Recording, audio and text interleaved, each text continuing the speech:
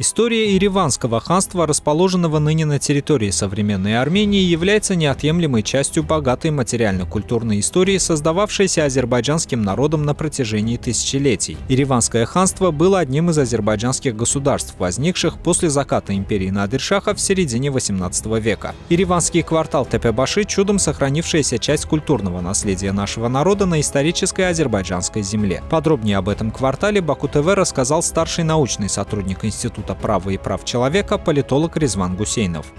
В течение многих веков Ереван, Ереванская крепость являлись одним из центров э, азербайджанских государственных образований, административных образований и не просто центром, но культурным, политическим центром, где формировалась особая идентичность э, особое культурное пространство, которое затем влияло на соседние народы, в том числе на этнографию, на культуру позже переселяемых сюда э, армянских общин.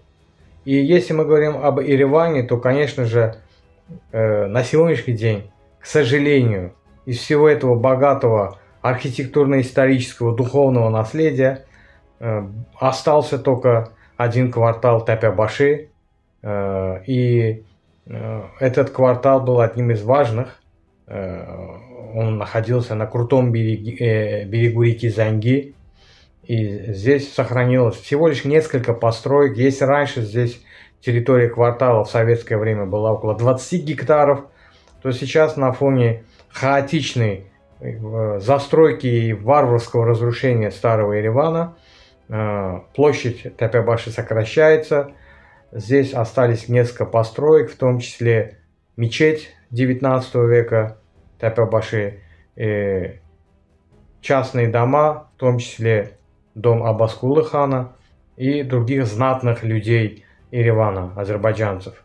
Но, несмотря на то, что э, Азербайджан неоднократно высказывал обеспокоенность судьбой Тапябаши, мы знаем, что представители азербайджанской интеллигенции, ученые обратились к руководству ЮНЕСКО с обеспокоенностью о судьбе квартала Тапябаши, который уничтожается. Однако никакой реакции от ЮНЕСКО пока что не последовало, а, а значит армянская сторона, к сожалению, будет продолжать уничтожать этот квартал. Это последнее напоминание о э, древнем Ереване, о его азербайджанском наследии – Последний знак того, что этот город, эта крепость построена предками азербайджанцев. Эта информация зафиксирована в различных источниках, в том числе в армянских. Э, у такого автора средневекового, как Симеон Ереванцы, его произведение «Джамбар», описывается Ереван, Азербайджан, его мусульманское население. Можно вспомнить Аракела Тебрисского, который тоже подробно описывает властителей Ереванской страны, как он называет, наших ханов Амир Гуне и других правителей. Можно вспомнить э, труды, в том числе католикосов эчмиадзинских, которые хранятся сейчас в Матнедаране, где очень подробно описывается мусульманская тюркская Еревань и то, как э, мусульманские азербайджанские правители страны Азербайджан, как там описывается, передавали села и заселяли армян, дали им пристанище. К сожалению, э, судьба квартала Тепе-Баши является э, еще, одним, еще одной страницей, трагической страницей э, в истории разрушаемого азербайджанского наследия на территории Армении.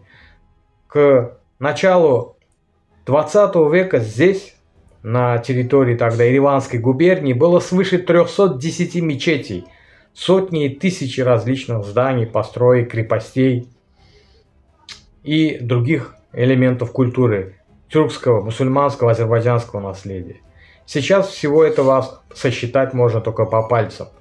И э, очень важно э, привлечь внимание международного сообщества к этой проблеме.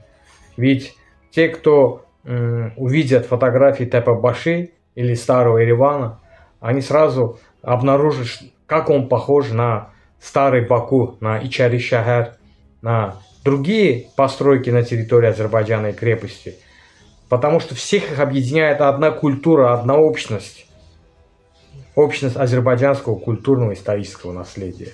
И попытаться спасти Тапябаши является принципиальной задачей не только для азербайджанского общества, но и для тех, кто себя считает защитниками культурного наследия, архитектурного наследия, для тех международных организаций, которые обязаны это выполнять. И остается надеяться, что все-таки совместными усилиями удастся спасти, сохранить часть Тяпябаши. И это будет, я считаю, большим достижением, если нам это удастся сделать.